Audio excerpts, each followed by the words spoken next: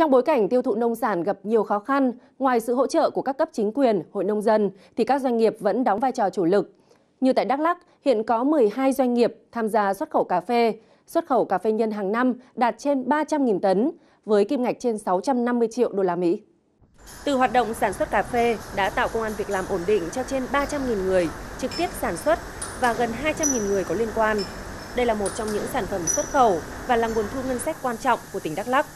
Những năm qua, ngành cà phê của tỉnh tiếp tục tăng trưởng khá dù đối mặt với không ít khó khăn.